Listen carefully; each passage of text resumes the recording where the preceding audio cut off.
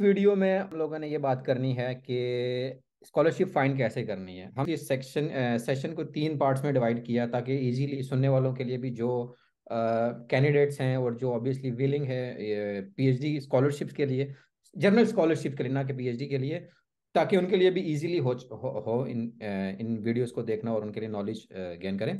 तो इस वीडियो में मैं आपसे सिर्फ़ ये पूछना चाहता हूँ कि स्कॉलरशिप ढूंढनी कैसे है? मेरा क्वेश्चन ये है। फिर उसके बाद मैं जनरल आपसे कुछ क्वेश्चनिंग करूँगा स्टूडेंट के बिहाफ से। तो आप काइंडली ये इंफॉर्मेशन दे देंगे ढूंढनी कैसे स्कॉलरशिप सबसे पहले ना। ओके नुमान भाई सबसे पहले अगर मैं आपको बताऊँ कि स्कॉलरशिप ढूंढनी कैसे पहले हमने डॉक्यूमेंट्स प्रिपरेशन और वो सब चीज़ें तो बता दी सबको ठीक है? स्कॉलरशिप ढूंढनी कैसे है? स्कॉलरशिप को डिफरेंट प्लेटफॉर्म ढूंढी सोशल मीडिया से जाएगी ठीक है? या वेबसाइट से ढूंढी जाएगी ठीक है? अब आप अगर आप देखते हैं तो आपके पास यानी कि सबसे मुझे ग्रुप बहुत अच्छा लगता है उन लोगों ने बहुत हेल्प की है वो पाकिस्तानी ग्रुप है स्कॉलरशिप नेटवर्क्स के नाम से ठीक है? हम्म। हम भी हम भी उस हमें भी वहाँ से बहुत सारी गाइडेंस भी मिली और बहुत सारी चीज़ें मिली। स्कॉलरशिप नेटवर्क एक बहुत अच्छा स्कॉलरशिप है, जहाँ पे आपके और मेरे जैसे स्टूडेंट्स जो डिफरेंट ममालिक में, दुनिया के डिफरेंट कोनों में बैठे हुए पीएचडी कर रहे हैं, ठीक है? तो वो वहाँ पे उनकी यूनिवर्सिटी में या कहीं पे भी उनको स्कॉलरशिप पोजीशन का कहीं से कुछ पता चलता है तो वहाँ पे आके तो अपडेट कर देते हैं कि ये स्कॉलरशिप हमारे पास आ गई है, या ये यानी कि फलां यूनिवर्सिटी ने फलां प्रोफेसर ने इस डोमेन में ये स्कॉलरशिप अनाउंस की है, ठीक है? तो वहाँ पे एक बहुत बड़ा इंफॉर्मेशन का ज़रिया वो भी है। दूसरे नंबर पे हमारे पास है आप बेशक नोट कर लें तो वो डिस्क्रिप्शन में बेशक डाल दीजिएगा। Scholarship scholarship DB dot net ठीक है? तो ये स्कॉलरशिप डीबी डॉट नेट मेरे हिसाब से जो मैंने सर्च किया वो एक बहुत अच्छा प्लेटफॉर्म था ठीक है? जो कि आपको स्कॉलरशिप यानी कि वो मुझे बहुत सारी वेबसाइट थी लेकिन वो मुझे सबसे अच्छी लगी जहाँ पे आप अपने जिस कंट्री में स्कॉलरशिप चाहते हैं आप उसका फ़िल्टर लगा दें तो आपको उसी कंट्री के स्कॉलरशिप शो होंगे आप अपनी डोमेन के हिसाब से अपने रीजन के हिसाब से अपने अपने एरिया ऑफ़ इंटरेस्ट या रिसर्च एरिया के हिसाब से हम्म। वहाँ पे फ़िल्टर फ़िल्टर आउट करके तो आप रिजल्ट्स को कि इतने स्कॉलरशिप यहाँ पे अवेलेबल है कंट्री के हिसाब से स्कॉलरशिप चाहिए पार्शल स्कॉलरशिप चाहिए आपको जॉब इवन की चाहिए तो वो वहाँ से आप सर्च आउट कर सकते हैं स्कॉलरशिप डीबी डॉट नेट उसके हम्म। बाद यूरोप यूरोप की अगर हम बात करें तो यूरेक्सिस है यूरोपा है ठीक है। और अगर मैं अपनी बात करूँ तो क्योंकि हम कंप्यूटर वियन में काम कर रहे थे तो हमारा एक कंप्यूटर वियन मशीन लर्निंग का एक ग्रुप था जहाँ पे मैंने अपनी ईमेल आईडी दी थी। तो जैसे ही कोई नई पोजीशन अनाउंस होती थी तो मुझे ईमेल आ जाती थी तो वो बहुत ज़्यादा हेल्पफुल होता। ठीक है, इसी तरह हर बंदे के अकॉर्डिंग जब हर बंदा अपनी डोमेन के अकॉर्डिंग कुछ ऐसे ग्रुप्स होंगे, जहाँ पे वो जीमेल ग्रुप्स होंगे, जहाँ पे वो अपनी ईमेल को सब्सक्राइब कर लेंगे तो जैसे ही कोई नई पोजीशन या कोई ऐसा नया भी अनाउंसमेंट होगी तो वो उनको मिलती रहेगी। ठीक है, और ये तो है सबसे आसान तरीके, क्योंकि नुमान भाई डिफरेंट यूनिवर्सिटीज में जाके, फिर स्पेसिफिक डिपार्टमेंट में जाके स्पेसिफिक प्रोफेसर को सर्च आउट करना और फिर उनके पास स्कॉलरशिप के लिए अप्लाई करना, वो थोड़ा सा डिफरेंट टास्क हो जाता है, ठीक है? हाँ लेकिन अब इसमें थोड़ी सी मेहनत लगेगी। जो तरीके पहले बताए हैं, वो यूरक्सिस है यूरोपा है स्कॉलरशिप लीग है स्कॉलरशिप नेटवर्क है स्कॉलरशिप डीवी डॉट नेट है। इनशाला उम्मीद है कि यहाँ से बहुत सारे स्टूडेंट्स को कोई ना कोई डायरेक्शन मिल जाएगी कोई ना कोई स्कॉलरशिप मिल जाएगा या किसी ऐसे बंदे से या किसी ऐसी बंदी से कांटेक्ट हो जाएगा जो कि उसी डोमेन का होगा और फर्दर वो उसको क्योंकि मैं कंप्यूटर साइंस वालों को तो बहुत अच्छे से बता सकता हूँ लेकिन शायद मैं दूसरों को उस हवाले से ना बता सकूँ लेकिन एक जेनेरिक सा मैं आइडिया दे रहा हूँ ठीक है कि वहाँ से उनको एक डायरेक्शन मिल जाएगी अच्छा यहाँ पे अब मेरे पास अगर कोई मुझे अप्रोच करता है तो मैं उसको बता सकता हूँ कि हाँ भाई मेरी यूनिवर्सिटी में या मेरे शहर में जो यूनिवर्सिटीज हैं या जिन यूनिवर्सिटीज के बारे में मैं जानता हूँ या जहाँ पे मैंने अप्लाई किया था कहाँ पे एक्सेप्टेंस रेट ज़्यादा है या कैसे आपने अप्लाई करना है तो अगर आप लेट सपोज़ आपने टारगेट किया कनाडा को आप भूल जाए कि यूनिवर्सिटी की रैंकिंग क्या है। भूल जो स्कॉलरशिप मिल रहा है दैट्स इनफ ठीक है? एक थर्ड वर्ल्ड कंट्री में बैठ के आपको स्कॉलरशिप मिल रहा है कनाडा का तो बस आप भूल जो सब चीज़ों को। आप बस देखो कि प्रोफेसर की प्रोफ़ाइल अच्छी है, स्कॉलरशिप मिल रहा है, ठीक है, बस इट, सही है? अब उसमें क्या होता है कि आप आप लिख लो कि टॉप हंड्रेड यूनिवर्सिटीज या टॉप टेन टॉप ट्वेंटी या top fifty universities in Canada अगर आप सिर्फ़ स्पेसिफिक कंट्री को कर रहे हैं, वैसे तो स्कॉलरशिप डीबी से कर सकते हैं। ठीक है? लेकिन मेरे देखने में नुमान भाई ऐसा है कि कुछ प्रोफेसर थोड़ा सा वो कह लो कि बिज़ी होने की वजह से वो अपनी ना लैब की अनाउंसमेंट ही नहीं करते या वो पोजीशंस की अनाउंसमेंट ही नहीं करते या उनके पास फ्रीक्वेंटली सीरीज़ आ रही होती है, ठीक है? कैंडिडेट अप्लाई कर रहे होते हैं तो उनको शायद वो अनाउंस करने की ज़रूरत ही नहीं पड़ती कि वो अनाउंस करें कि हमारे पास कोई पोजीशन है या ऐसा कुछ है। ठीक है? तो उनको खुद से भी अप्रोच करना पड़ता ठीक है? तो अब उसमें क्या है कि आप एक लिस्ट बना लें टेन या फिफ्टीन या ट्वेंटी यूनिवर्सिटीज की वहाँ पे आप कंप्यूटर साइंस डिपार्टमेंट में चले जाएँ ठीक है? जहाँ जा, जैसे ही आप कंप्यूटर साइंस डिपार्टमेंट खोलेंगे तो प्रोफेसर की प्रोफ़ाइल आ रही होती है उनका रिसर्च डोमेन लिखी होती है। डिस्ट्रीब्यूटेड सिस्टम्स है नेटवर्किंग है कम्युनिकेशन है आ, या सिस्टम इंजीनियरिंग है या सॉफ्टवेयर इंजीनियरिंग है कंप्यूटर विजन है मशीन लर्निंग है स्पीच का है लैंग्वेज मॉडल्स पे काम कर रहा है ब्लॉकचेन है डिस्ट्रीब्यूटेड uh, लर्निंग पे काम कर रहा है स्प्लिट लर्निंग पे वो सारी डोमेन्स लिखी होती हैं। वहाँ से आप प्रोफेसर की प्रोफाइल्स को उठाते जाए ठीक है? उनकी ईमेल और उनका कॉन्टेक्ट इन्फॉर्मेशन उठाते जाएँ और वहाँ पे अप्लाई करते जाएँ। ये आखिरी है ठीक है? लेकिन आप पहले स्कॉलरशिप डीबी डॉट नेट पे जाएँ तो वो एक बहुत अच्छा प्लेटफॉर्म है जिसपे मैक्सिमम स्कॉलरशिप्स हर डोमेन के स्कॉलरशिप्स अनाउंस होते रहते हैं। ठीक है? लेकिन अगर आप इससे भी आगे यूरक्सेस है यूरोपा है, जो कि सिर्फ़ यूरोप के लिए, लेकिन वो बहुत अच्छे हैं स्कॉलरशिप नेटवर्क फेसबुक वाला। इसके बाद अपने ट्विटर के ऊपर अपने रिसर्च डोमेन और वो चीज़ें लिखेंगे तो मे भी लोग आपको वहाँ से भी अप्रोच करेंगे। हाँ ट्विटर के ऊपर आपको लोग अप्रोच करेंगे, लेकिन अगर आप अपने लिंक्डइन के ऊपर लिख लेते हैं कि मुझे इस एरिया में जॉब चाहिए या इस एरिया में स्कॉलरशिप चाहिए पीएचडी का और अपने डोमेन को मेंशन कर देते हैं तो आपको जैसे ही कोई पीएचडी पोजीशन अनाउंस होगी तो आपको लिंक्डइन के ऊपर आपको नोटिफिकेशन आना स्टार्ट हो जाएँगे कि इस एरिया में मींस के ये अलर्ट सपोज़ हम लिखते हैं टोरंटो में टोरंटो में या कनाडा में या स्पेन में स्पेन की फलां यूनिवर्सिटी ने आपकी डोमेन से रिलेटेड इस डोमेन में पीएचडी की स्कॉलरशिप अनाउंस की है। तो आपको आ जाएगा उसके ऊपर पूरी डिस्क्रिप्शन होगी ईमेल कांटेक्ट इन्फॉर्मेशन कितनी पोजीशन है कितनी सैलरी होगी क्या होगा वो सब कुछ मेंशन होता है। लेकिन लिंक्डइन एक बहुत अच्छा ऑप्शन है अच्छा इसमें एक बात करनी और लिंक्डइन की ये बात। जी जी जी जी जी। आजकल एक मैं एक बार एक पोस्ट भी देखी थी कि स्टूडेंट या कोई ना स्कैम भी करते हैं। स्कैम ऐसे हो सकता है फॉर एग्जांपल कि किसी स्टूडेंट ने अपनी एक नॉर्मल जीमेल का ईमेल मेंशन की कि आपने कोई रिसर्च प्रपोजल लिखा है तो मेरी लैब में ये आया है या मैं प्रोफेसर हूँ तो मुझे आप शेयर करो। तो वो आपका रिसर्च प्रपोजल का बेनिफिट उठा के खुद अप्लाई करेगा। या माइट भी ये भी पॉसिबिलिटी हो सकती है कि कोई कहेगा जी मैं इस यूनिवर्सिटी में स्कॉलरशिप आई है तो ठीक है इतनी इसकी जो है एडमिशन फ़ीस है वट एवर आप दें और ये इस तरह से भी स्कैम तो इसमें आपका क्या कि ओके नुमान भाई इस अब इस चीज़ में ये चीज़ है कि जब भी आप किसी भी स्कॉलरशिप पे अप्लाई करोगे तो जब भी आपको वो अप्लाई करवा रहा होगा तो आपको लिंक की डायरेक्शन हमेशा यूनिवर्सिटी की मिलेगी या किसी प्रोफेसर की मिलेगी। यूनिवर्सिटी की ऑफिशियल वेबसाइट का पता चल जाएगा आपको ठीक है? ऑफिशियली यानी कि जीमेल की ईमेल्स कभी भी प्रोफेसर ने नहीं दी होती उन्होंने यूनिवर्सिटी की ऑफिशियल ईमेल आईडी दी होती है ठीक है? और दूसरे नंबर पे जो बंदा आपसे पैसे मांग रहा है, वो स्कैम कर रहा है। क्योंकि आपने जो भी पेमेंट करनी है, वो यूनिवर्सिटी के अकाउंट में करनी है, वो यूनिवर्सिटी की वेबसाइट पे करनी है, ठीक है? और वो ऑनलाइन पेमेंट होगी, वो यूनिवर्सिटी की वेबसाइट पे और वो सब चीज़ें होंगी। आपने किसी बंदे को डायरेक्टली किसी भी मीडियम के थ्रू पैसे नहीं भिजवाने। उसके अकाउंट में ऐसा कोई यूनिवर्सिटी के अकाउंट में पेमेंट आप एडमिशन फ़ीस की बात करें जो 50 या 100 हाँ, जी जी जी जी जी अब अब नुमान भाई ये होता है कि जब आप स्कॉलरशिप के लिए देख रहे हो तो आपको किसी फ़ीस की कोई ज़रूरत नहीं होती। हम्म। पहले तो आपने गुजरना है अप्लाइंग के फ़ेज़ से। हम्म। सबसे पहले आपने प्रोफेसर सर्च करना है अब वो आप स्कॉलरशिप डीबी से सर्च कर लें।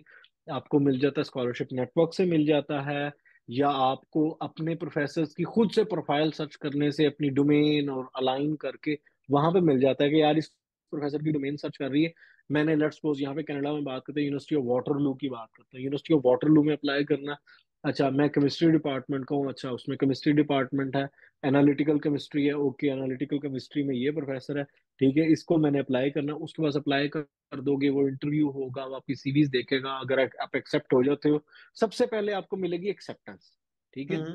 एक्सेप्टेंस के मिलने के बाद जो नेक्स्ट स्टेप होता है आपको आपने यूनिवर्सिटी के लिए एडमिशन के लिए एडमिशन के लिए अप्लाई करना है और एडमिशन प्रोसेसिंग फ़ीस देनी है जो कि राउंड अबाउट होगी वन फिफ्टी से टू फिफ्टी डॉलर ठीक है?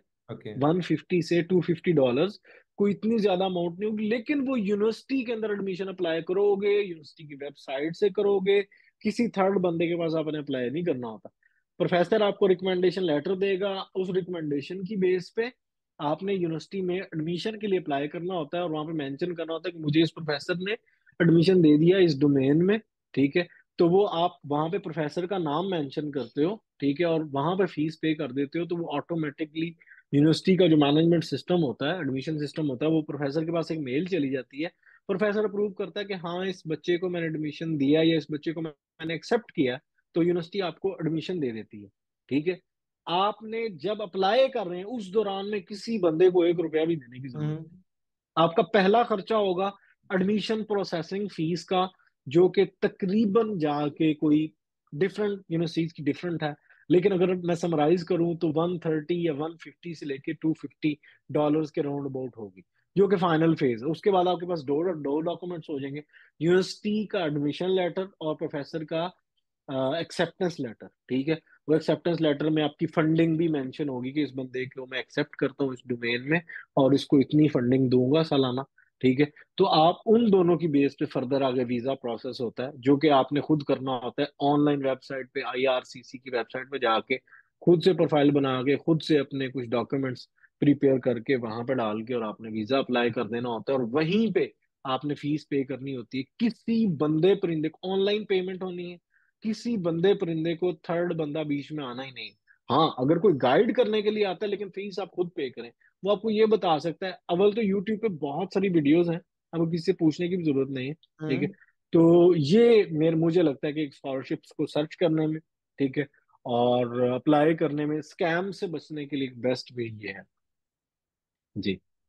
अच्छा नेक्स्ट क्वेश्चन मैं आपसे यही करूँगा कि अगर आप थोड़ा सा अपना एक्सपीरियंस शेयर कर दें जो रेलिवेंट है कैसे फाइंड की और ये ऑब्वियसली ओके आपने सारा डिटेल तो बताई लेकिन अपना एक्सपीरियंस शेयर कर दें। ओके नुमान भाई अ, मैं जब मैंने अपना मास्टर्स कंप्लीट किया तो उसके बाद मैं यूनिवर्सिटी में एक पे पढ़ा रहा था। हम्म। तो अचानक से अ, मेरे कुछ फ्रेंड्स हैं ठीक है उनकी मुझे कॉल आती है कि यार आप भी स्कॉलरशिप के लिए अप्लाई करो क्योंकि वो स्कॉलरशिप पे जा चुके थे। हम्म। मुझे कॉल्स आती हैं स्कॉलरशिप के लिए अप्लाई करें तो मैंने कहा कि यार मैं तो पढ़ा रहा हूँ लेकिन जब मैं पढ़ा रहा था यूनिवर्सिटी में तो मुझे फील हुआ कि यार कि पीएचडी करनी पड़ेगी।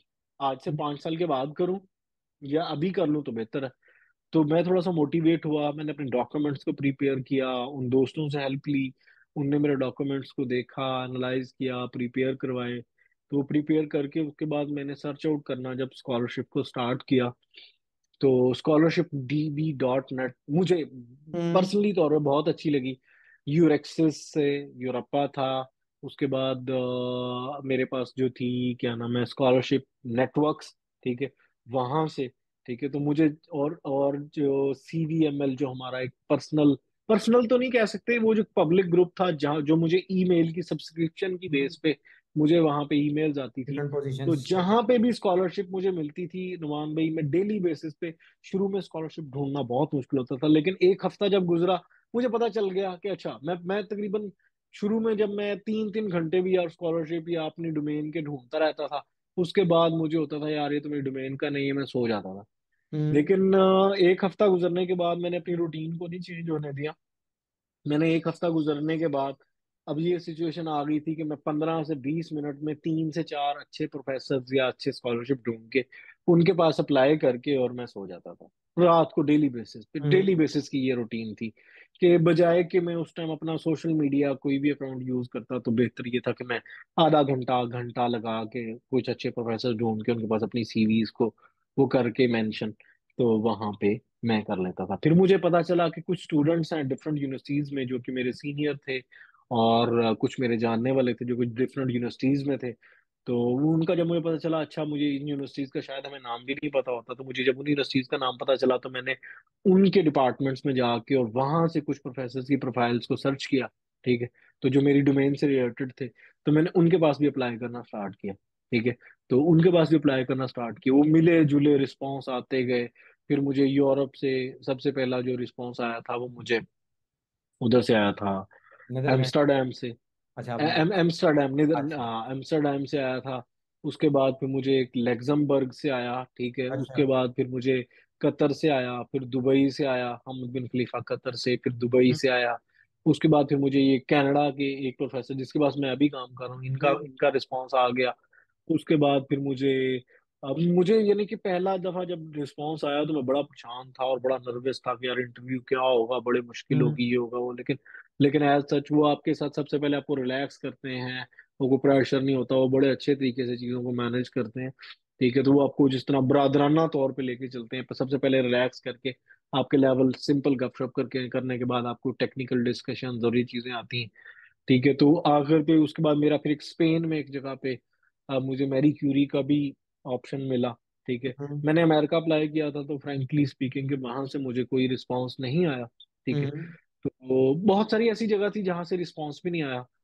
तो राउंड अबाउट कह लें कि मैंने सिक्सटी मैंने एक दिन काउंट करा था फिफ्टी सिक्स तो सिक्सटी प्लेसेस ऐसी थी जहाँ पे मैंने अप्लाई किया था। तो अच्छा। उसके बाद फिर फिर मैंने इस- ये ज- जिनके पास अभी काम कर रहा हूँ तो इसके बाद फिर मुझे कनाडा की दो प्रोफेसर और थे उनसे भी रिस्पांस आ गया। तो इस तरह चलते चलाते आखिर पे मुझे फिर जब एक स्पेन का था, कतर का था, फाइनल मेरे पास तीन या चार ऑप्शंस थे। तीन कनाडा से थे, एक कतर से था और एक मेरे पास स्पेन से था। तो आखिर पे मैंने ये डिसाइड किया कि मैंने यहाँ पे ज्वाइन करना है, क्योंकि इस प्रोफेसर के साथ मेरा वीज़ा तक अप्लाई कर चुका था, बाकी प्रोफेसर के साथ मेरा, फिर यानी कि वो बेहतर था कि इसी के साथ कंटिन्यू करता और बाकी जो थे कतर और हम्म, मैं कतर को वो, फिर मेरी थोड़ा सा प्रायोरिटीज में हम्म। कनाडा आ गया और दूसरे नंबर पे स्पेन था। लेकिन स्पेन का फिर ये था कि मुझे वीज़ा दोबारा से प्रोसेस करना पड़ना था और मेरी ये चीज़ें हम्म। प्रोसेस हो चुकी थी और वो प्रोसेस दोबारा फिर लंबा था। तो कुछ इन वजूहत की वजह से बस फिर मैं उधर नहीं जा सका। तो ये टोटल होल जर्नी थी। लेकिन मैंने कंसिस्टेंसी से और एक डेली बेसिस पे सबसे पहले डॉक्यूमेंट्स प्रिपेयर करने पे टाइम लगाया। उसके बाद अप्लाई करने पे तो पंद्रह बीस मिनट आधा घंटा लगता होगा वो इतना टाइम नहीं लगता। हम्म अच्छा। ठीक है। तो एट द एंड अल्लाह पाक ने एक रास्ता बना दिया तो यानी कि अभी हम यहाँ पे हैं। अच्छा नेक्स्ट हम्म। क्वेश्चन ठीक हो गया। मैंने कुछ क्वेश्चन समअप किए हुए थे। ऑब्वियसली सारी बातें हम लोग कर चुके हैं जिन स्टूडेंट्स ने ये वीडियोस देख ली होंगी वो सारा कुछ समझ चुके होंगे। फिर भी क्वेश्चन ये है कि मुझे ये बताएँ पीएचडी और मास्टर्स की स्कॉलरशिप लेना इजी है या मुश्किल? अगर किसी भी कंट्री को देख लें स्पेशली कनाडा की तरफ़ अगर बात करें। अच्छा मैं अगर यानी कि सबसे आसान जो है वो है पीएचडी का। ठीक है? हम्म सबसे आसान पीएचडी का है क्योंकि जैसे हम सबसे पहली वीडियो में शायद बता चुके थे कि पीएचडी का स्कॉलरशिप पूरी दुनिया में जहाँ पे भी होता है। ठीक है, अगर स्पेशली कनाडा या बाकी बाकी पूरी दुनिया की बात करते हैं पीएचडी का जो स्कॉलरशिप है, वो मेरा ख्याल 98% एट परसेंट में कहूँगा तो वो फ्री यानी कि वो हंड्रेड परसेंट कवर्ड करता है आपकी लिविंग को, आपके खाने पीने को और आपकी सब चीज़ों को, ठीक है? तो पीएचडी का कंपैरेटिवली कंपटीशन भी होता है डेफिनेट बात है, लेकिन आपने मास्टर्स में कुछ ना कुछ किया होता है थीसिस प्रोफ़ाइल हो आपकी कह लें कि कुछ ना कुछ कह नहीं वो नुमान भाई कि जिस तरह मैंने आपको पहले बताया ना हाँ। पहली वीडियोस में कि आपको अपनी चीज़ों को प्रेजेंट करने का तरीका होना चाहिए ठीक है ना? तो वो प्रोफ़ाइल वो चीज़ें खुद ही सेट हो जाएँगी खुद ही बन जाएँगी। तो वो उसकी मेन चीज़ आपकी कहना कि मोटिवेशंस आप कह रहे हैं कि यार ये मोटिवेट है या जस्ट वैसे ही जी जी बिल्कुल बिल्कुल। ठीक हम्म है। और दूसरे नंबर मास्टर्स का आ जाता है। मास्टर्स का भी अभी यूरोप की शायद कुछ ऐसी कंट्रीज़ हैं जो कि मास्टर्स वालों को भी फ्री में स्कॉलर फ्री में यानी कि उनके मास्टर्स में अमूमन कुछ नहीं होता ठीक है? कोई भी यानी कि वो चीज़ नहीं स्कॉलरशिप है जर्मनी की एरास्मस हाँ है डैट है या रा, रासमस है या और भी स्कॉलरशिप्स हैं इधर मैरी क्यूरी भी आती है बहुत सारी हैं हाँ ऑब्वियसली वो बहुत सारी पूरी दुनिया की स्कॉलरशिप्स हैं लेकिन मास्टर्स की तरफ़ लोगों का रुझान ही नहीं ना है। हम्म। रुझान ही नहीं है वो समझते हैं कि पैसा लगेगा फ़ीस देंगे तो जा सकते हैं अदरवाइज़ वो थोड़ी सी स्ट्रगल एक महीना अगर लेट चले जाएँगे या छह महीने लेट चले जाएँगे और फ्री में चले जाएँगे वो बेहतर है कि अगर पाकिस्तानी कोई चालीस पचास साठ लाख रुपया लगा के जाएँगे तो वो बेहतर है। वो तो मेरा ख्याल वो वो वो वो वो लोग वो वो वो लोग मिसगाइडेड होते हैं ठीक है? और दूसरे लोगों से कह लो कि इंस्पायर्ड होते हैं वो ऑनलाइन वीडियोस को देख के और वो चीज़ों को देख के वो हकीकत को जानने की कोशिश नहीं वो रियलिटी को नहीं जानते थोड़ी सी मेहनत थोड़ी सी मेहनत। मेरा अभी रिसेंटली एक दोस्त है वो ऑस्ट्रेलिया गया मैं उसको बहुत रिक्वेस्ट की वो वो मास्टर्स के लिए गया मैंने उसको बहुत रिक्वेस्ट की मैंने कहा यार कि अभी अ, हम इस फ़ील्ड में हैं मेरे पास यूनिवर्सिटी है यहाँ पे हम्म। डिफरेंट प्रोफेसर्स हैं जिनकी प्रोफाइल्स का मुझे पता है, तेरे साथ वो यानी कि उसको हम मैच कर सकते हैं और उनके पास तो मास्टर्स के लिए आ सकता है। लेकिन बस वो, नहीं नहीं, मैं ऑस्ट्रेलिया जाना है, मेरे पास पैसे हैं, मैंने इतने जमा करवा दिए, मेरी इतनी फ़ीस है, ये होगा, वो होगा स्कॉलरशिप कैसे मिलेगा, मैंने कुछ किया नहीं है, ये है, वो है, मैं अपनी चीज़ों को कैसे बनाऊँगा मोटिवेशन कैसे लिखूँगा। मैंने कहा, मैंने उसको बहुत कन्विंस किया। अभी भी जो मेरे बाकी दोस्त हैं मैं बहुत कन्विंस करता हूँ। ठीक है, लेकिन बस वो फिर अब हर बंदे की अपनी प्रायोरिटीज होती हैं। कुछ लोग कहते हैं कि हमारे पास पैसा है तो हम कुछ भी कर सकते हैं। तो बस वो मैक्सिमम लोग कोशिश करते हैं कि पैसा लगा। हाँ बैचलर्स के लिए मैं कहता हूँ कि पैसे लगते हैं, बिल्कुल लगते हैं। लेकिन मास्टर्स के लिए और पीएचडी के लिए मेरा ख्याल अगर वो पैसे लगा के करता है तो मेरे हिसाब से वो मुनासिब नहीं है या मैं अब उसको क्या कहूँ कि वो थोड़ी सी मेहनत नहीं करना चाहते और बस वो पैसा लगा वो के काफ़ी फंस जाते हैं जो इस तरह से आते हैं फिर उनके लिए सरवाइव करना बहुत मुश्किल हो जाता है यहाँ पे। मैंने जी बिल्कुल बिल्कुल बिल्कुल ऐसा बिल्कुल ऐसा ही तो वैसे बिल्कुल ऐसा ही मैं आपसे ठीक है ये सारी चीज़ें हमने डिस्कस की है। वैसे आप आपकी वैसे मोटिवेशन क्या है नॉर्मली जो स्टूडेंट्स के लिए? मोटिवेशन या सजेशन आप एक सम अप करना चाहेंगे? क्या स्टूडेंट्स को देंगे? Okay motivation. मोटिवेशन की अगर हम बात करते हैं तो मोटिवेशन सबसे बड़ी मोटिवेशन है एक अच्छा लाइफस्टाइल ठीक है? एक पीसफुल एनवायरनमेंट बहुत सारी मोटिवेशन हो सकती हैं ठीक है? एक अच्छी प्रोफ़ाइल एक अच्छे मुल्क की डिग्री एक अच्छी प्रोफ़ाइल आप उस डिग्री को लेने के बाद आप क्या लें जो आप जिस रिसर्च में आप इन्वॉल्व होते हैं अभी रिसेंटली वो लेटेस्ट चीज़ों पर होती है। लेटेस्ट जी जी जी जी। ए, ए, एक अच्छा रिसर्च एनवायरनमेंट लेटेस्ट रिसर्च ठीक है। उसके बाद इन है। इंडस्ट्री इन इंडस्ट्रियल कोलैबोरेशन ठीक है। हम्म। कि आपकी इंडस्ट्रीज़ के साथ कोलैबोरेशन होती है आपको पता चलता है। एक्चुअल में लेटेस्ट रिसर्च कौन सी हो रही है किस फ़ील्ड में कौन सी रिसर्च हो रही है। कोलैबोरेशन होती है नई नई चीज़ों का पता चलता है। उसके बाद आपको प्रैक्टिकल वर्क का पता चलता है। ठीक है? कि आप इंडस्ट्रीज़ में जाते हो इंडस्ट्रियल मीटिंग्स होती हैं, उनके साथ आप कोलेबोरेशन करते हो तो आपको उन चीज़ों का पता चलता है, ठीक है? और आपकी एक अच्छी रिसर्च पब्लिकेशन एक अच्छी रिसर्च प्रोफ़ाइल बनने के साथ साथ, जिसके बाद आप, अगर आप पाकिस्तान में, दुनिया के किसी भी कोने में जाके एक अच्छी जॉब ले सकते हैं, ठीक है? सबसे पहली एकेडमिक वो ये हो गई। उसके बाद अगर हम अदर दूसरी साइड पे चले जाते हैं तो यहाँ पे आते हो, ठीक है? मोटिवेशन ये है कि आपको पढ़ने के पैसे मिल रहे हैं। और हाँ पैसे इतने ये मिल रहे बिल्कुल सबसे बड़ी मोटिवेशन है सबसे बड़ी मोटिवेशन आपको ठीक है पैसे भी मिल रहे हैं। ठीक है पढ़ने के पढ़ने के यार पैसे मिल रहे हैं। लैपटॉप आपको प्रोफेसर देता है आपको स्क्रीन प्रोफेसर देगा लैपटॉप देगा आपको कैबन देगा ऑफ़िस देगा। सब कुछ देने के बाद उसके बाद फिर पैसे भी दे रहा है और आपने बड़ी मोटिवेशन क्या होगी? आपने अपना काम करना है यार आपने अपना काम यानी कि कुछ भी नहीं आप अपने अपना काम मीन्स कि आप अपने थीसिस का काम अपनी रिसर्च का काम अपनी प्रोफ़ाइल को बना रहे हो ना? मेहनत हाँ कर रहे हो अपनी प्रोफ़ाइल को बना रहे हो मोटिवेशन आपके लिए। एक सबसे बड़ी मोटिवेशन कि आपको अपना काम करने के पैसे मिल रहे हैं ठीक है? और तीसरे नंबर पे ये है कि एक अच्छा लाइफस्टाइल मिल जाता है यार पीसफुल एनवायरनमेंट मिल जाता है। और मैं अगर किसी हद तक ये कहूँगा तो वो भी कम नहीं होगा कि आपको फाइनेंशियली भी थोड़ी सी सपोर्ट हो जाती है। थोड़ी सी हम्म नहीं काफ़ी सारी सपोर्ट हो जाती है वो आप मेरे साथ एग्री करेंगे। फाइनेंशियली भी सपोर्ट हो जाती है कि आप अपनी फैमिली को और इन चीज़ों को सपोर्ट कर सकते हो। ठीक है?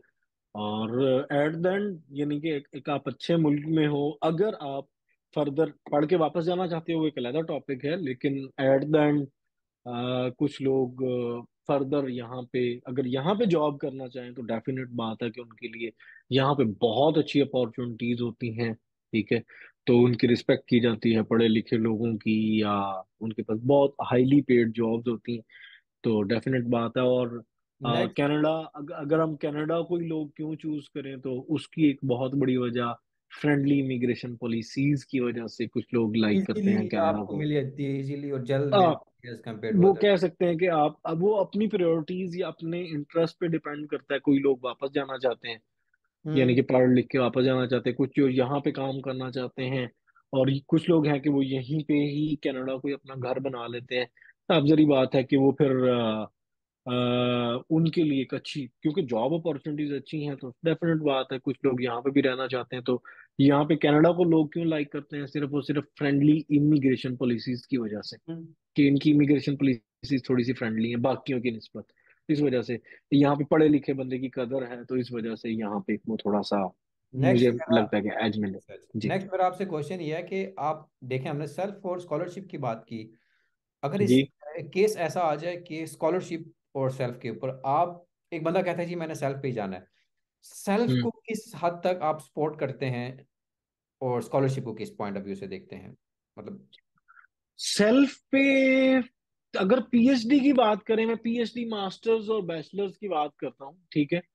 पीएचडी की अगर आप बात करते हैं तो मैं अगर ये कहूँगा नुमान भाई तो गलत ना होगा कि वो बंदा बेवकूफ़ होगा कि जो आ, यूरोप में कनाडा में अमेरिका में किसी भी मुल्क में सेल्फ फाइनेंस पे पीएचडी के लिए जाता है।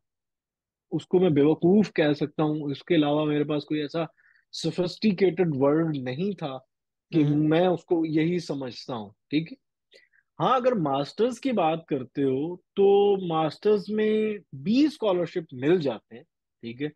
कोशिश की जा सकती है। वहाँ पे कह लो कि फिफ्टी या सिक्सटी परसेंट स्कॉलरशिप मिलने के और फोर्टी परसेंट ना मिलने के भी चांसेस होते हैं, ठीक है? तो मास्टर्स में अगर कोई स्कॉलरशिप पे सेल्फ पे आता है तो किसी हद तक कह सकते हो कि वो कंसीडरेबल है कि दो साल की डिग्री है, ठीक है? वो पहुँचते ही और यहाँ पे अभी चीज़ों का पता होता है और वो निकल जाती है, पहले साल की फ़ीस दे के आते हो, दूसरे साल की फ़ीस आप किसी ना किसी तरह इकट्ठी कर लेते हो या आप दूसरी फ़ीस दे के और अपना, जैसे ही, मास्टर्स खत्म होता है, कोई जॉब पे होते हो तो आप वो अपनी जो जो इन्वेस्टमेंट की होती है, उसको पे बैक कर सकते हो। लेकिन मैं यानी कि फिर भी ये सजेस्ट करूँगा कि स्कॉलरशिप को ज़रूर एक दफ़ा देख लें।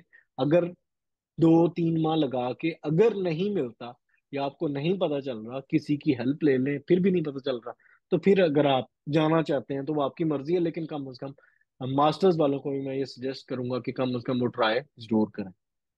ठीक और बैचलर्स की अगर बात करते हैं तो या तो बैचलर्स में नुमान भाई आ, मैं जो जिन लोगों के पास तो इतना पैसा है कि वो यहाँ पे आके रहना खाना पीना फीसेस को अफोर्ड कर सकते हैं नो no डाउट मेरे कहने से कोई रुकने नहीं वाला लेकिन वो अगर आना चाहते हैं तो मोस्ट वेलकम उनके लिए तो कोई मसला नहीं है ठीक है? अगर किसी के पास पैसा है वो खर्च करना चाहता है अच्छी एजुकेशन लेना चाहता है और वो अपना रिहाइश खाना पीना फीसें सब कुछ अफोर्ड कर सकता है तो डेफिनेटली उसको आना चाहिए। मैं कभी नहीं कहूँगा एक अच्छे इदारे में या अच्छी जगह पे पढ़ने में कोई कबाहत या कोई चीज़ नहीं है ठीक है? वो हम्म। अगर आना चाहता है तो बहुत ज़बरदस्त है। लेकिन देखा दाखी कुछ ऐसे लोग जो अपने घरों को गिरवी रख के और अपने घरों को बेच के और अपने रकबों को बेच के और उन सूरतों में बैचलर्स पे आना चाहते हैं तो मैं उनसे रिक्वेस्ट यही करूँगा कि भाई बैचलर्स अपने होम कंट्रीज़ से किसी भी अच्छे इदारे से कर लो चार साल का बैचलर्स करके किसी भी अच्छे इदारे से करके और मास्टर्स में यहाँ पे आ जाओ मास्टर्स में आ जाओ तो वो बहुत बेहतर है। मैं उनको रिकमेंड नहीं करूँगा। हाँ जिनके पास एक अच्छे रिसोर्सेज या सोर्स ऑफ़ इनकम अच्छा है उन लोगों के लिए तो डेफिनेट बात है उनको आना चाहिए वो आ सकते हैं वो पढ़ ले।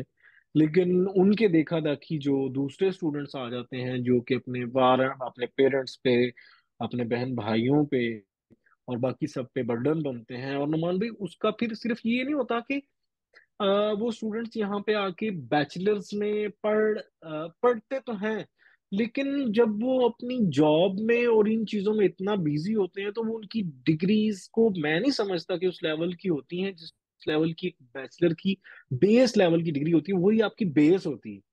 वहाँ पे आपकी बेस बन रही होती है ठीक है हम्म। ना? तो अगर आप अपनी बेस को बिगाड़ दोगे यहाँ पे आके उस टाइम काम पे जा रहे हो अच्छा यार असाइनमेंट छोड़ दो यार मेरा काम बिज़ी है किसी और कॉलेज में कन्वर्ट करा लो आपकी बेस ही नहीं बनेगी ना। तो आप पूरी ज़िंदगी एक तो बैचलर्स ही रह जाओगे यहाँ पे। हाँ ठीक है, आप कोई जॉब कर लोगे, यहाँ पे मिल जाएगी, ठीक है, लेकिन आपका बैचलर्स, वो बेस वाला बैचलर्स नहीं होगा।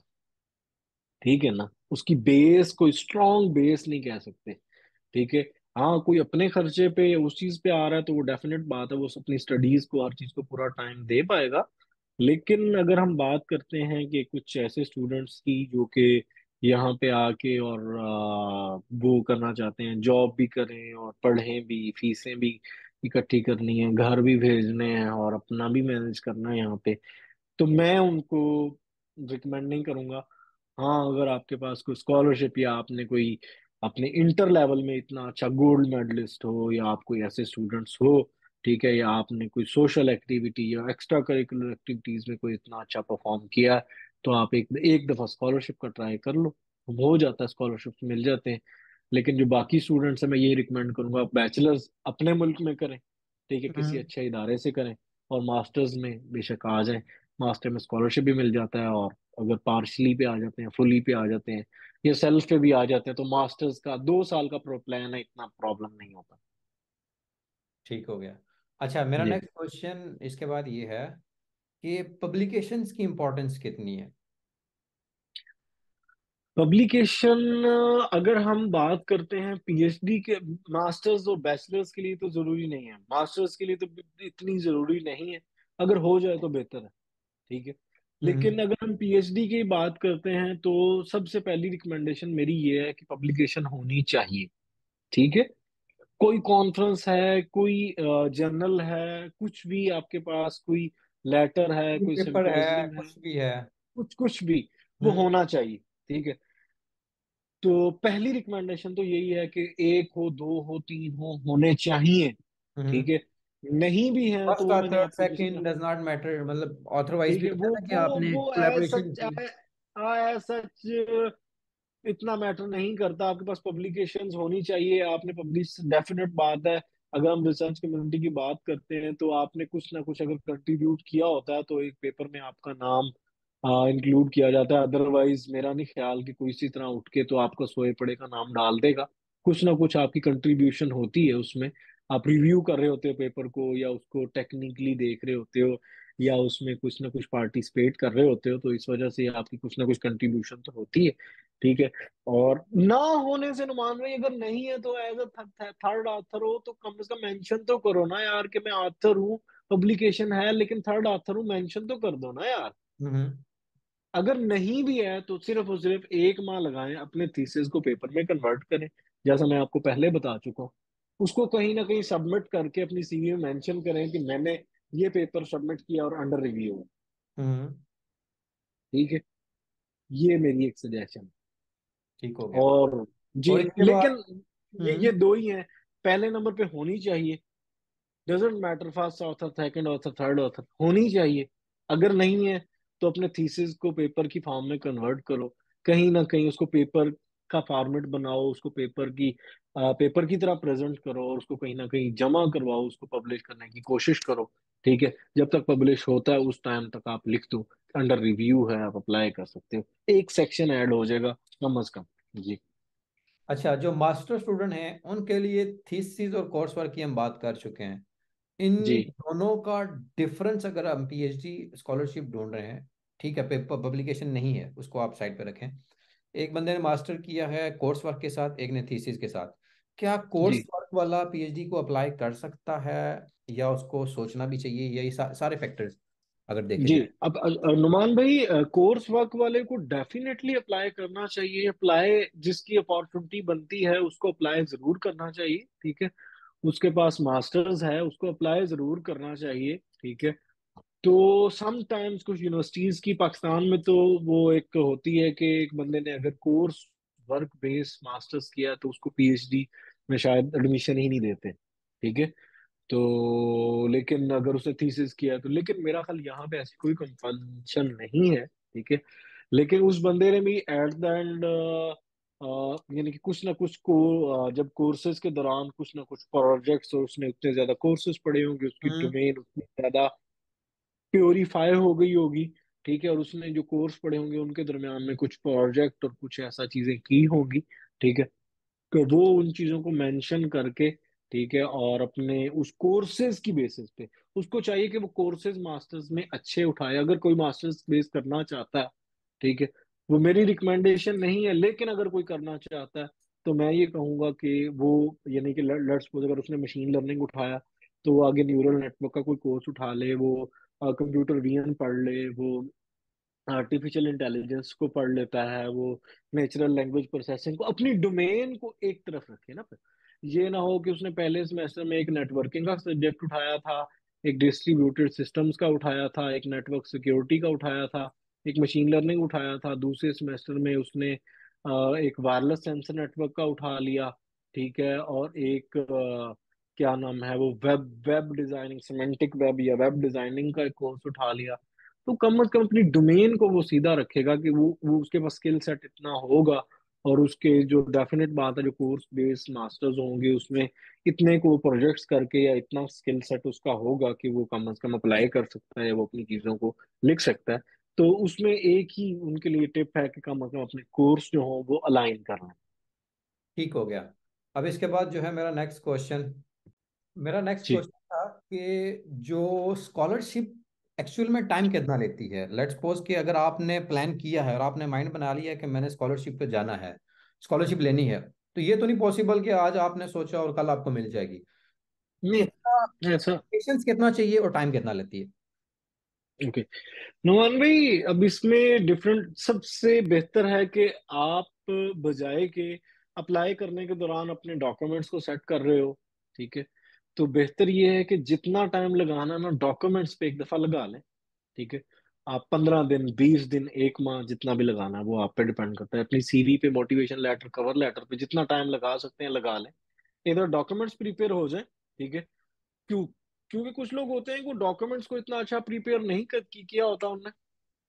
वो अप्लाई करना स्टार्ट कर देते हैं ठीक है? उसके बाद यार वहाँ से रिजेक्ट हो गया तो फिर उसके बाद फिर वो अपनी सीवी किसी को भेजते हैं मुझे रिजेक्शन आ रही हैं या अब रिप्लाई नहीं आता और वो फिर बाद में अपने डॉक्यूमेंट्स को सेट कर रहे होते हैं। तो मेरी ये रिकमेंडेशन है या मैं सजेस्ट करूँगा, सबसे पहले डॉक्यूमेंट्स को अच्छी तरह प्रिपेयर कर लें, ठीक है? जितना अच्छा प्रिपेयर करेंगे, उसके बाद अप्लाई का प्रोसेस जब स्टार्ट होता है, आप अप्लाई करना स्टार्ट करेंगे तो उसमें क्या होगा कि अब ये डिपेंड करता है कि आप अपनी फ़ील्ड से रेट अब इसमें दो तीन चीज़ें डिपेंड करती हैं।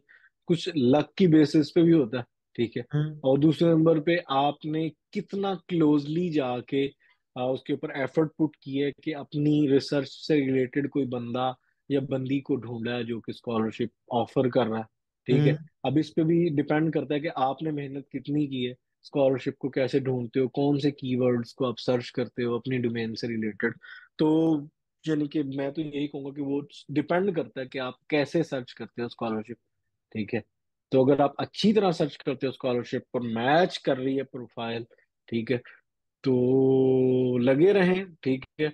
अगर मैं अपना एक्सपीरियंस शेयर करता हूँ तो मुझे एक माह के अंदर, यानी कि एक से डेढ़ माह के अंदर एक्सेप्टेंस और ये चीज़ें होना स्टार्ट हो गई थी, ठीक है? पहले पंद्रह एक दिन के बाद तो कुछ भी नहीं हुआ था, पहले पंद्रह अठारह दिन तो कुछ भी नहीं हुआ था। उसके बाद कुछ रिप्लाई आना स्टार्ट हुए, कुछ रिजेक्शन स्टार्ट हुई उसके बाद फिर इंटरव्यूज़ की कॉल और दिस एंड दैट जी। अच्छा ज़बरदस्त हो गया। नेक्स्ट मुझे ये बताएँ कि इसमें मेन प्रोसेस क्या होना चाहिए? एक पर्सन या कैंडिडेट है वो अगर विलिंग है तो उससे हम्म। किन चीज़ों को अपने माइंड पे रखना चाहिए और क्या चीज़ें फॉलो करनी चाहिए अप्लाई करने के लिए? कंसिस्टेंसी हम्म। एक ही चीज़ है कंसिस्टेंसी सीरियस हो जाए। ठीक है। सिर्फ़ अगर कोई दो दो माह या तीन माह कंसिस्टेंसी से कुछ नहीं किया लाइफ में छोड़ दो यार। छोड़ दो बहाने बनाना वो चीज़ें करना छोड़ दो। लाइफ में कुछ नहीं किया कोई बात नहीं। तीन माह अपने आप को दे दो ठीक है? इंशाल्लाह पूरी ज़िंदगी के लिए आपकी एक हम्म। ट्रैक पे चढ़ जाओगे आपकी लाइफ सेट हो जाएगी ठीक है? तीन माह ठीक है? उसमें क्या है कि अपनी प्रोफ़ाइल को सेट करो अपने सोशल मीडिया हैंडलर्स को सेट करो ठीक है? अपने डॉक्यूमेंट्स को प्रिपेयर करो अपने स्किल सेट को इम्प्रूव करो ठीक है? और कंसिस्टेंसी थकना नहीं है। रिजेक्ट होते हो कोई बात नहीं यार। हम्म। पैसे लग रहे हैं नहीं लग रहे ना? अपनी जॉब करते रहो शाम को घंटा आके लगा लोगे तो क्या है? कहीं ना कहीं पे जॉब कर रहे हो ना शाम को घंटा आके लगा लो तो क्या है? अब इसके लिए मैं हम्म। ये नहीं कहता जॉब छोड़ के बैठ जाओ स्कॉलरशिप सर्च करो। नहीं यार। अपने डॉक्यूमेंट्स प्रिपेयर करो उस पर टाइम लगेगा ठीक है मुश्किल होगी जॉब्स के साथ वो प्रिपेयर हो जाएँगे ठीक है।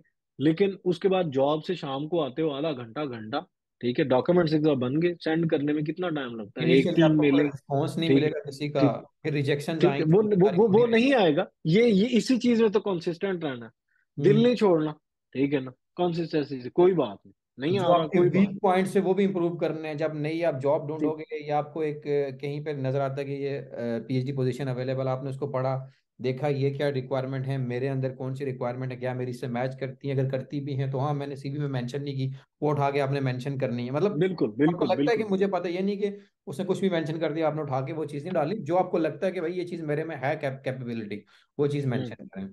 जी जी और बिल्कुल। बाद तो अ, सब ये ये ये चीज़ क्या नाम है इम्पोर्टेंट है? तो इस चीज़ पे मैं कहूँगा कि क्या नाम है कि आपने वो डिसअपॉइंट नहीं होना। कंसिस्टेंसी से लगे रहना। रिजेक्ट हो जाओगे क्या हो जाएगा यार? जॉब कर रहे हो ना? कहीं ना कहीं पे जॉब कर रहे हो लगे हुए हो ठीक है? ये इंशाल्लाह लग जाएगा। लेकिन अगर आप करते रहोगे तो मैं गारंटी देता हूँ कि एक हम्म, बंदा अगर लगा रहेगा लाइफ में कुछ नहीं किया वो स्कॉलरशिप ले लेगा। ठीक हो गया। जी। अच्छा ज़बरदस्त। इसके बाद मेरा जो क्वेश्चन है कि जी। कितना कितनी अमाउंट आपको चाहिए स्कॉलरशिप अप्लाई करने के लिए? ऑब्वियसली ये क्वेश्चन इसलिए है मैं बता रहा हूँ। कुछ यूनिवर्सिटीज होती हैं जैसे मैंने इट, इट, इटली के अंदर भी देखा है बहुत और भी कंट्रीज़ होंगी कनाडा कह रहे हैं जी कि जी। जहाँ आपको इनिशियली अप्लाई करने के लिए कुछ यूरोज या कुछ डॉलर्स चाहिए जी। इवन यूएस के लिए भी हम्म। जी जी। अगर हम कनाडा की बात करते हैं तो नुमान भाई यहाँ पे इटली की जो यूनिवर्सिटीज का ये होता है कि आपने पहले यूनिवर्सिटी में अप्लाई कर देना यूनिवर्सिटी की फिर एक बॉडी होती है वो आपका इंटरव्यू कंडक्ट करती है हम्म। ठीक है? तो आपने पहले अप्लाई कर देना होता है ठीक है? तो वहाँ पे आपका खर्चा इनिशियली तौर पे हो जाता है अप्लाई पे एडमिशन होने से पहले ठीक हम्म है? लेकिन अगर हम कनाडा की बात करते हैं तो यहाँ पे ये होता है कि जब स्कॉलरशिप आप अप्लाई कर रहे हो तो प्रोफेसर से आपने अप्रोच करना है उसी को इंटरव्यू देना, सब कुछ उस उस पे करना, ठीक है? तो उसके बाद आपने चले जाना है, जब एक्सेप्टेंस प्रोफेसर की एक्सेप्टेंस मिल जाएगी तो वहाँ से खर्चा स्टार्ट होगा। लेकिन वो इतना लंबा चौड़ा खर्चा नहीं है, ठीक है? वहाँ से खर्चा स्टार्ट होगा। अब वहाँ से खर्चा जो स्टार्ट होगा, नुमान भाई, वो आपका तकरीबन, मैंने आपको पहले बता चुका हूँ वन फिफ्टी से लेके और two fifty dollar round about यानी कि ये है आपका एडमिशन प्रोसेसिंग फ़ीस है। एक यूनिवर्सिटी की। एक एडमिशन देखो अच्छा आपको एडमिशन भी तो एडमिशन हो एक ठीक जिनका एडमिशन आपको एक्सेप्टेंस मिल गई आप उसी में एडमिशन लोगे ना। आई समझे हो ना बात? आई थिंक इटली में डिफरेंट है। इटली में अगर आप हाँ, अप्लाई वो वो वो वही मैं आपको हाँ कर रहा था ना कि इटली में आप अप्लाई यूनिवर्सिटी में करते हो आपको छह यूनिवर्सिटी में अप्लाई करना छह के छह में पहले फ़ीस देनी पड़ेगी। अच्छा अच्छा अच्छा। ठीक है? हम्म। लेकिन यहाँ पे पता कि आप प्रोफेसर के पास अप्लाई करोगे प्रोफेसर के पास अप्लाई करने के कोई पैसे नहीं। जब एक प्रोफेसर आप दस प्रोफेसर के पास अप्लाई करते हो एक आपको एक्सेप्ट कर लेता है। उसी एक यूनिवर्सिटी में जिस यूनिवर्सिटी का वो प्रोफेसर है आपने सिर्फ़ एक यूनिवर्सिटी में एडमिशन के लिए अप्लाई करना है। प्रोफेसर ने एक्सेप्ट कर लिया एडमिशन के लिए अप्लाई करोगे। तो वो आपकी वन फिफ्टी से लेके two fifty dollar Canadian dollars fees होगी जो कि तकरीबन वन फिफ्टी को और कैलकुलेट करें तकरीबन थर्टी थाउज़ेंड से लेके फिफ्टी थाउज़ेंड के हाँ राउंड ये ये करेंसी ऊपर फ्लक्चुएट कर रही होती है। ठीक है ये डिपेंड अगर अगर मैं इस टाइम की बात करूँ तो फिफ्टी थाउज़ेंड तकरीबन पाकिस्तानी रुपीस बनते हैं हम्म। हमारे यानी कि उसके लिए।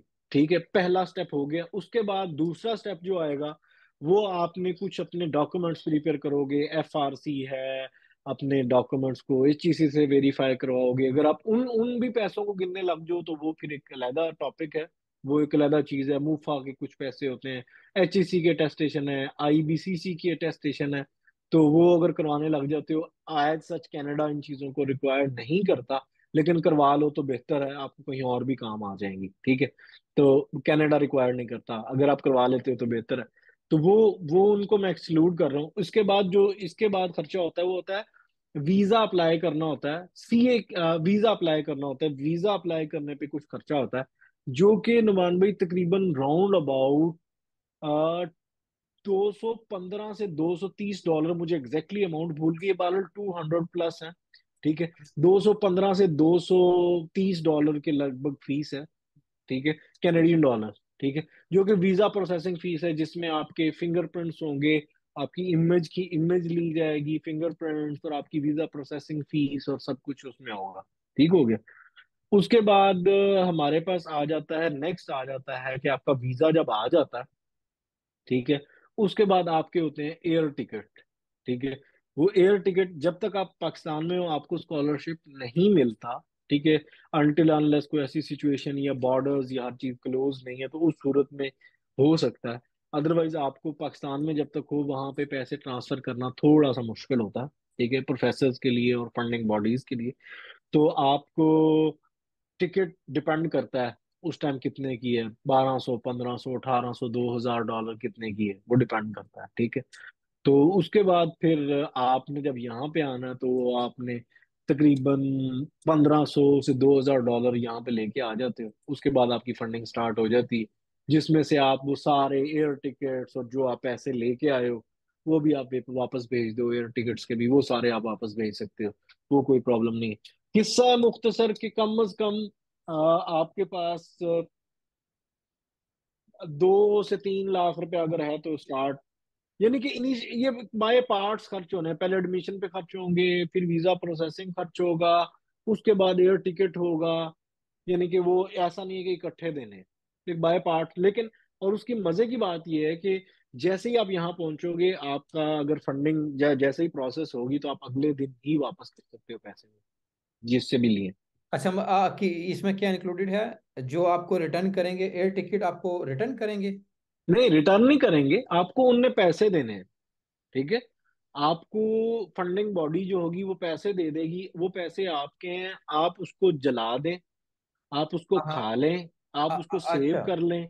आप हम्म। दिन आप एक साल में छह दफ़ा पाकिस्तान जाएँ आपने उसी के अंदर मैनेज करना अच्छा अच्छा ठीक है? अच्छा गया लेकिन वो इतनी कम अमाउंट होती है कि आप इनिशियली तौर पे जो पैसे घर से लेके आए होते हो या एयर टिकट्स वाले किसी से पकड़ के आए हो या किसी से उनको वापस कर दो तो आपके पास इतने पैसे होते हैं कि आप अपना सर्वाइवल अच्छे से कर सकते हो। अच्छा अच्छा अच्छा। हाँ। तो ये आई थिंक मेरा लास्ट ही क्वेश्चन था। अब अगर आपकी कोई मोटिवेशन या आपके माइंड में कोई ऐसी चीज़ है जो स्टूडेंट्स को बताना चाहते हो तो आप बताएँ तक। अल्लाह से उम्मीद हम्म। पहले नंबर पे ठीक है? हम्म। अल्लाह से उम्मीद ठीक है? माँ बाप की दुआएँ लेके हम्म। चलो साथ। अल्लाह पाक से उम्मीद माँ बाप से दुआएँ अल्लाह पाक से दुआ ठीक है? और consistency hard work hard work से कम ठीक है? बस ये इसके अलावा कोई चीज़ भी नहीं चाहिए। हम्म। कुछ नहीं चाहिए। जो आप कर चुके वो तो कर चुके ना। अब मास्टर्स तो एक आह, बंदा कर चुका मास्टर्स को दोबारा तो नहीं किया जा सकता। नहीं कि किया वो पी तो वो सिर्फ़ वो आपने वो वो अच्छा। वो वो, वो सिर्फ़ स्कॉलरशिप के लिए दोबारा मास्टर्स नहीं कर सकता मतलब ये नहीं सोचना कि आप नहीं कर सकते। हर कोई कर सकता है। आप कैपेबल हो कोई कर सकता में जिसने मास्टर्स किया है डिपेंड नहीं करता किस यूनिवर्सिटी से किया है। डिपेंड नहीं करता गवर्नमेंट से किया प्राइवेट से किया बैकवर्ड यूनिवर्सिटी थी फलान था फलान कुछ भी नहीं। जीपीए मैटर नहीं करता। आप ट्राई कर सकते हैं ठीक है? इवन के मैं एक दो केसेस ऐसे भी जानता हूँ नुमान भाई जिनके 2.7 जीपीए था अच्छा। ठीक है? Two two point nine GPA था वो स्कॉलरशिप पे हैं।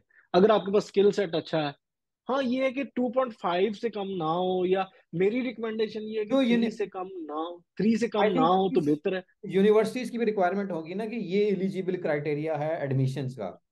वो नहीं मेरा मे, मेरा ख्याल ऐसी कोई शायद होगी यूनिवर्सिटीज की हम्म। लेकिन लेकिन मेरी रिकमेंडेशन ये थ्री से कम ना हो लेकिन ट्राई करने में कोई हर्ज नहीं है। पैसे नहीं लग रहे ना। ट्राई करने में क्या हर्ज है? अगर हो जाता टू पॉइंट सेवन वाले का तो उसके फ़ायदा ही है ना। मतलब ये नहीं आपने डरना कि यार ये पो, पोजीशन आई है क्या मैं अप्लाई करूँ या ना करूँ दिल या नहीं छोड़ना मेरे पास पब्लिकेशन नहीं है। ये डॉक्यूमेंट ये प्रोफेसर को भेजो। झूठ झूठ के बहाने हैं मेरा जीपीए थोड़ा है मेरे पास पब्लिकेशन नहीं है मेरे पास स्किल सेट नहीं स्किल सेट नहीं है तो बना लो ना यार। हाँ ऑनलाइन कोर्स ले लो यार। आजकल आपके पास इंटरनेट है कोई भी स्किल ऑनलाइन कर लो। ऑनलाइन कोर्स ले लो डिजी स्किल है हाँ। कोर्सेरा है हमारे पास उसके बाद यूडेमी है और भी बहुत सारे प्लेटफॉर्म्स हैं जहाँ से आप कोर्स लेके अपने स्किल सेट को डेवलप कर लो ठीक है? सीवी नहीं है बना लो। मोटिवेशन लेटर नहीं है लिख लो कि हमारे पास भी नहीं थे यार। हमारे पास भी मोटिवेशन लेटर नहीं था। सबने लिखा है और सबको लिखना पड़ता है। करो मतलब फाइंड करो ये चीज़ें।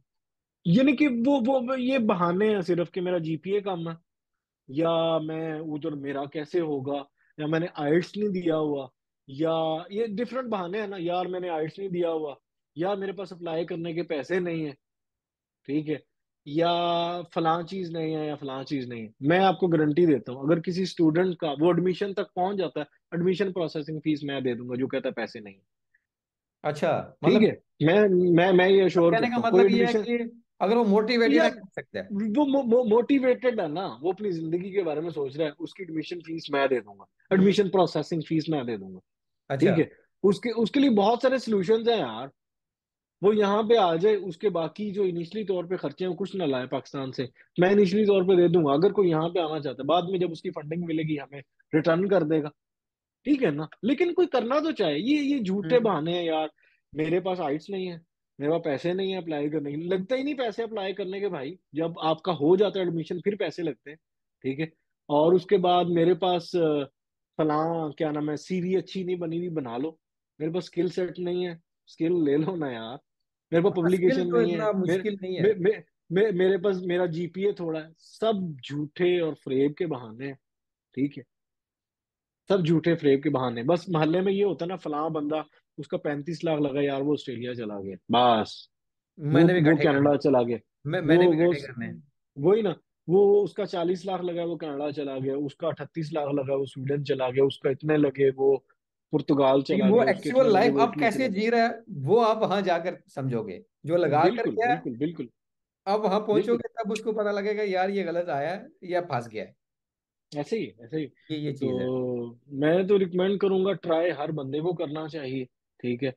अपने डॉक्यूमेंट्स को प्रिपेयर करके। बाकी या किस्मत या नसीब सिर्फ़ और सिर्फ़ कंसिस्टेंसी अल्लाह पाक से दुआ करते रहो माँ बाप की दुआ लेते रहो ठीक है? हम्म। और तीसरे नंबर अपनी मेहनत और कंसिस्टेंसी से लगे रहो इंशाल्लाह। आप एक दिन सक्सेसफुल होगे। आई होप ये वीडियोस उनके लिए काफ़ी यूज़फुल रही रहेंगी जो लोग इंटरेस्टेड हैं और ये मैं समझता हूँ ये जो दो तीन सेशन हमने बनाए हैं अगर जो स्टूडेंट इनको देख लेता है तो ऑब्वियसली मैं नहीं समझता कि उसे किसी और से कांटेक्ट करने की, ज़रूरत पड़ेगी इन्फॉर्मेशन लेने के लिए।